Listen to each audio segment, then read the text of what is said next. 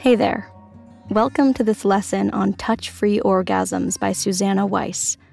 Suzannah is a certified sex educator, sex and love coach, and sex and relationship writer.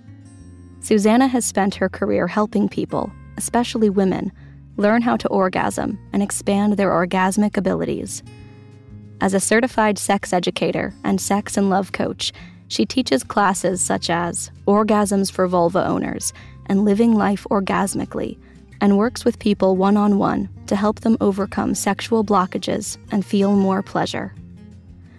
Her insights are based on her training as a sex educator and somatic sexologist, as well as the method she developed in her own life to go from never experiencing an orgasm with a partner to orgasming in every sexual encounter. Today, we're going to talk a little bit about touch free orgasms, what they are, and how to achieve them. And then we're going to try out a guided exercise to help us achieve this kind of orgasm. When we talk about touch free orgasms, we're talking about orgasms that occur with no tactile stimulation, whether that's on your genitals or anywhere else on your body. They may be achieved through other senses, that is, simply through looking at something you find very arousing, like porn, or hearing something you find sexy, like a partner engaging in dirty talk with you. Touch free orgasm may also be achieved through mental visualization, fantasy, breath work, or movement.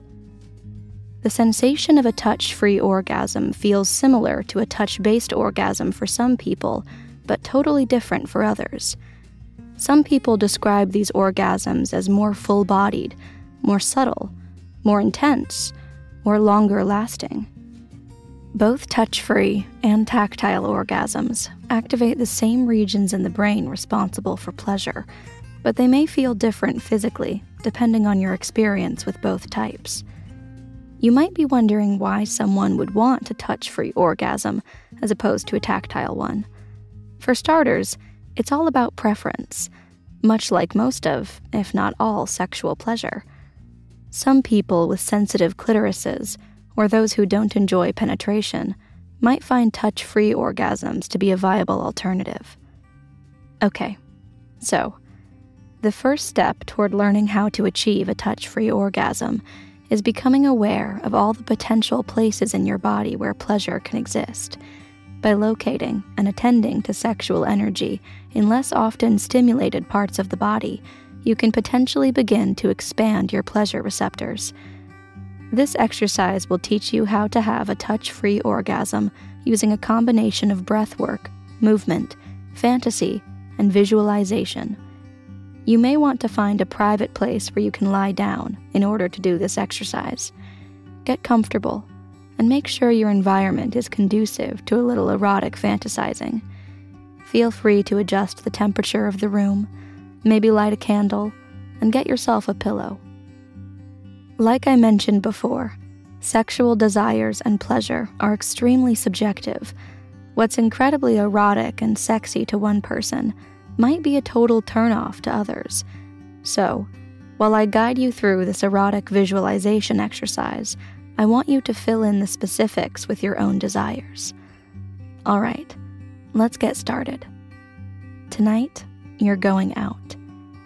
You've been asked out to dinner by someone you find very, very desirable. This could be your partner, someone you've had your eye on, a celebrity, or even a fictional character. Make sure that this person, whoever they might be, is someone you're comfortable with someone you can spend the next few minutes fantasizing about. You can tell this person really likes you because they've been texting you often and have been wanting to get together sometime, just you and them. You see a text on your phone from them, inviting you to dinner at your favorite restaurant. Imagine reading those words on the screen and the swell of your chest as excitement fills you up. Your body is filling with a gentle sensation.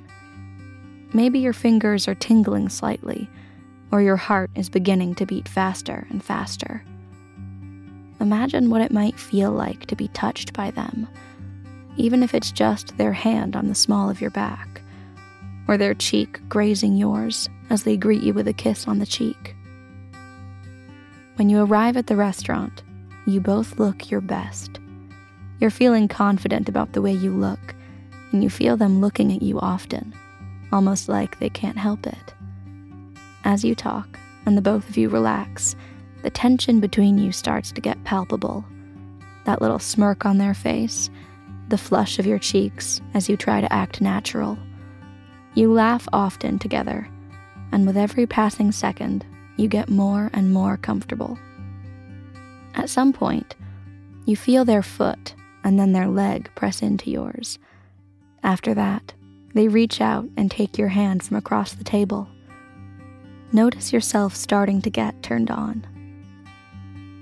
Let's pause here for just a moment. Are you feeling any body sensations right now as you lie here engaging in fantasy? Maybe your heart is beating a little faster than normal, or your skin is a little flushed. You might even be feeling desire or arousal already, but it's okay if not. Give your body a quick scan to zero in on and indulge in any of these sensations. Pretend that you have a magnifying glass and you're examining each sensation with it. For instance, if you're feeling a tingliness in your genitals, see if you can't amplify that feeling simply by focusing on it. Thank you for listening. For the entire story, please visit audiodesires.com, your safe space for erotic audio experiences. Do you want a happier, healthier sex life? We have hundreds of stories and guides for every mood, tailored to your lust, your desires, your climax.